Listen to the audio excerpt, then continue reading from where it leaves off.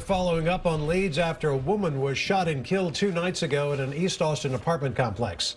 We told you yesterday that 30 year old Ebony Shepard was killed in the parking lot of the 6600 apartments. That's near US 183 in Loyola Lane. Today, people living there got a letter from the office. It says each person is responsible for their own safety, which has some there concerned since they now worry for their safety. From what I heard, it seems the girl came out and she was just at the wrong place at the wrong time.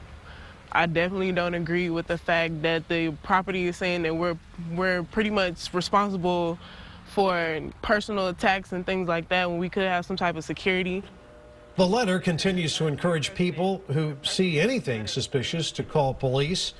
If you have any information about Shepard's killing, police ask you to give them a call.